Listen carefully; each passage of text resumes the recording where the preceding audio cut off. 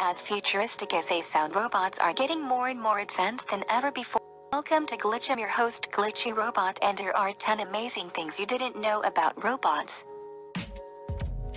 1.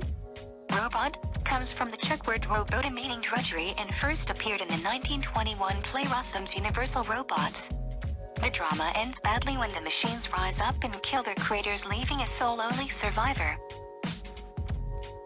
2. They say it was an accident.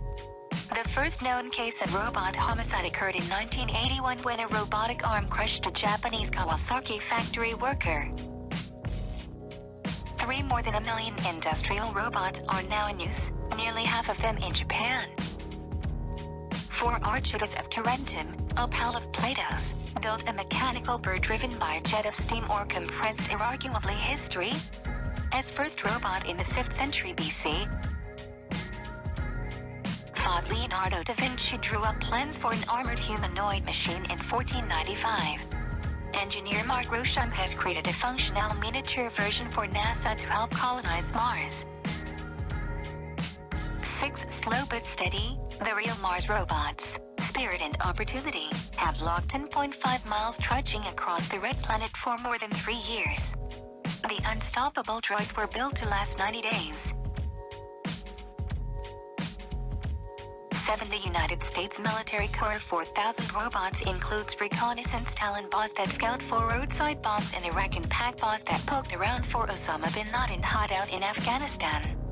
Apparently without much success. 8 Packbots manufacturer, iRobot, has also sold more than 2 million Roomba robotic vacuum cleaners, with the same environment sensing technology. 9 Low-tech versus high-tech, Taliban fighters in Afghanistan have reportedly used ladders to flip over and disable the United States military robots sent to scout out their caves. 10 Electro, the world's first humanoid robot, debuted in 1939. Built by Westinghouse, the 7-foot-tall walking machine spoke more than 700 words stored on 78 RPMs records to simulate conversation. For more amazing video like this one be sure to subscribe to Glitch and as always, thanks for watching.